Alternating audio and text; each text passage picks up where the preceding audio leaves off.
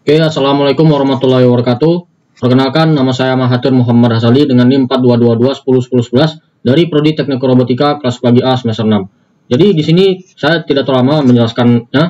Oke, saya akan menjelaskan tentang UAS ya, UAS Computer Vision semester 6 dari mata mata kuliah saya yaitu tentang milih jurnal paper yang ada di CF CFF. Itu judul saya itu yang bernama Efficiency Efficient per Pixel Rigidity Inference for Unsuper, Unsupervised Joint Learning of Optical Flow Depth Camera Pose and Motion Segmentation yang bernama pe, pembicaranya dari paper jurnal tersebut dari CFF tersebut yaitu uh, yang jauh pertama yang jauh yang kedua Tak Dritan yang ketiga Guang Mingxi yang keempat Sidian University John John Hopkins yang ketiga John Hop John Hopkins University dan Sidian Guangzhou Institute of Technology dari universitas dari ketiga pembaca tersebut ya rekan-rekan penampil judul tersebut ini rekan-rekan ini judul tersebut pada tahun 2021 rekan-rekan paper jurnalnya. Oke, saya akan tidak terlalu menjelaskannya, saya akan membaca abstrak.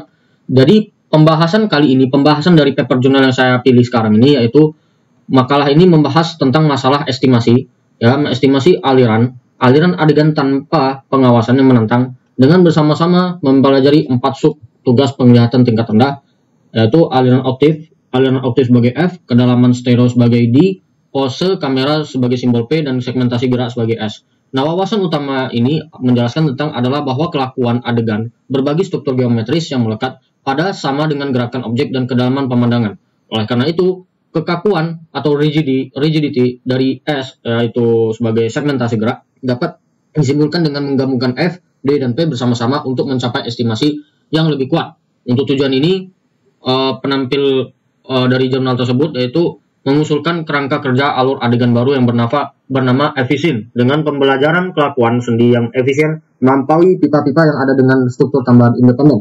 Di efisien kali ini pertama-tama memperkirakan aliran optik dan kedalaman pada tingkat kasar dan kemudian menghitung posisi kamera dengan metode perspektif endpoint. Untuk bersama-sama mempelajari kelakuan lokal, ya, dari jurnal ini merancang lapisan rigidity formation yang baru dengan tiga komponen utama yaitu ekstraksi korelasi, pembelajaran batas, dan pengecualian outlier. Oke, okay. uh, eh, dari abstrak ini saya sudah jelaskan. Yang pertama saya akan menjelaskan dari pendahuluan. Pendahuluan tersebut aliran adegan ini menggambarkan dari gerakan 3D motion dari adegan motion ini dinamis dengan aliran optik dua dimensi, ya, dan kedalaman adegan untuk yaitu memberikan petunjuk sebagaimana petunjuk ini geometris penting untuk berbagai aplikasi praktis seperti mengemudi sendiri dan navigasi robotika. Namun yang diperolehnya kebenaran dasar yang padat untuk kedua subtugas ini tersebut dalam aplikasi ini nyata, biasanya mahal atau tidak praktis.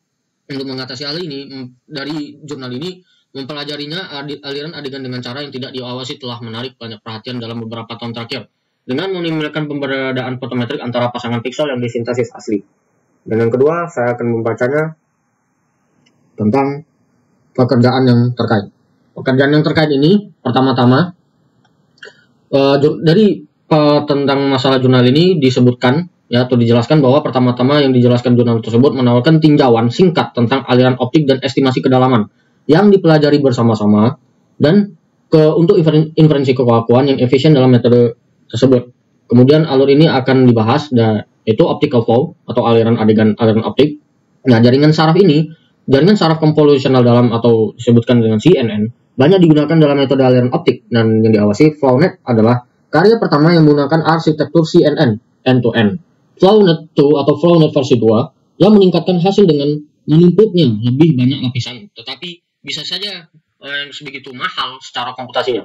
Kemudian daripada itu model dalam yang lebih sederhana seperti SpyNet, Light, Light FlowNet, dan PwCNet yang dirancang dalam mode spasial atau fitur piramida tersebut. Baru-baru ini unit ini berulang dirancang untuk memecahkan kode volume biaya semua yang dipasangkan di RAF dan mencapai hasil yang canggih. Oke. Okay. Oh, yang ketiga ada metode efisien. Oke, okay, metode efisien. Nah, metode efisien ini pertama-tama yang dikenalkan, yang dijelaskan itu konsistensi geometris, kaku atau rigidity konsistensi geometris, yaitu awal di bagian 3.1 dan kemudian menjelaskan dari desain di RFM di bagian 3.2 ini ya rekan-rekan 3,1 dan 3,2 dan membahas juga desain kerugian baru serta fungsi regulasi. Nah, jadi saya akan membahas tentang konsistensi geometris yang kaku, rigidity geometrical consistency. Dari mengingat dua bingkai tersebut berturut-turut, IT dan IT plus 1, gerakan pixel tersebut, ya gerakan pixel tersebut dapat dibagi menjadi dua, yaitu dalam kategorinya pertama gerakan lokal dalam dari objek bergerak yang dilambangkan dengan aliran optik FO T uh, menuju ke T plus 1. Compare ya, compare atau uh, membandingkan dan membandingkan gerak uh, sorry dan uh, gerak global atau ego dari latar belakang yang dijelaskan oleh aliran kaku FR T uh, menuju ke T plus 1 dibandingkan dengan aliran optik FO T menuju T FOT menuju T plus 1 aliran kaku FR T menuju T plus 1 secara ketat mengikuti konsistensi geometris yang kaku sehingga memiliki ambiguitas yang lebih rendah. Yang kedua, saya akan bahasnya dari efficient method ini yaitu tiga kedua yaitu rigidity formation yaitu kekakuan gerak Alih-alih ini secara independen memprediksikan kekakuan pixel dari gambaran mentah seperti pada seperti pada kami mengaplikasikan area kaku statis berdasarkan aliran optik FO T menuju T plus 1 dan aliran kaku ini FR T menuju T plus 1 T plus 1 ini mirip sekali dengan di mana ambang batas sederhana digunakan untuk membagi wilayah statis dan bergerak secara bina. Namun perbedaan tersebut mendasar dalam metode ini berasal dari pertimbangan bahwa gerak global dalam FRT menuju T plus 1 dibatasi secara ketat oleh bahwa batasan kaku geometris sedangkan gerak lokal dari FO T menuju T plus 1 adalah bebas. Ini rekan-rekan dari gambar yang sudah dijelaskan saya jelaskan dari uh, jurnal yang udah jurnal dijelaskan tersebut ya rekan-rekan. Oke, saya jelaskan lagi dari eksperimennya. Eksperimennya itu ada Uh, eksperimen ekstensif dilakukan untuk membandingkan efisien terhadap metode aliran adegan adegan SOTA dalam empat subtugas yaitu estimasi aliran optik, prediksi kedalaman, odometri visual, dan segmentasi gerakan.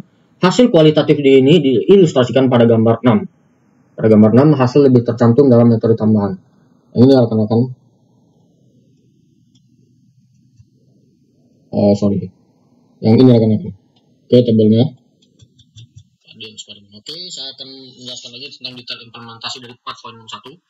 Jadi, di mana dataset ini untuk menjaga konsistensi dengan karya sebelumnya, Kak, dijelaskan lagi dari jurnal tersebut menggunakan kumpulan data dan protokol yang sama untuk ke semua eksperimen.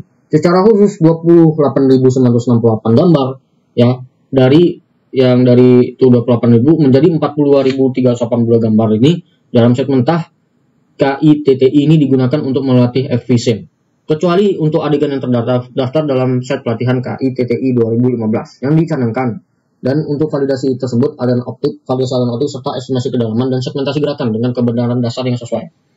Oke, saya jelaskan lagi. Terakhir saya jelaskan ada langsung saya jelaskan kesimpulannya. Dari kesimpulan seluruh rangkaian jurnal dari jurnal ini yang dari jelaskan dari jurnal tersebut yaitu singkatnya uh, jurnal ini menjelaskan mengusulkan efizin untuk estimasi aliran adegan tanpa pengawasan dengan menggabungkan beberapa subtugas penglihatan tingkat rendah dan jurnal ini mendemonstrasikan bahwa kekakuan per pixel dapat disimpulkan secara efisien dengan bersama-sama mengeksploitasi aliran optik, kedalaman, dan pose kamera.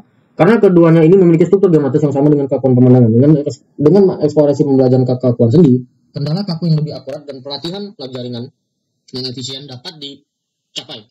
Eksperimen ekstensif ini pada tolak ukur aliran adegan menghasilkan hasil SOTA dengan model yang lebih sederhana. Untuk keempat subtugas menunjukkan efektivitas metode yang diusulkannya. Sekian dari saya, kurang lebihnya mohon maaf. Wassalamualaikum warahmatullahi wabarakatuh.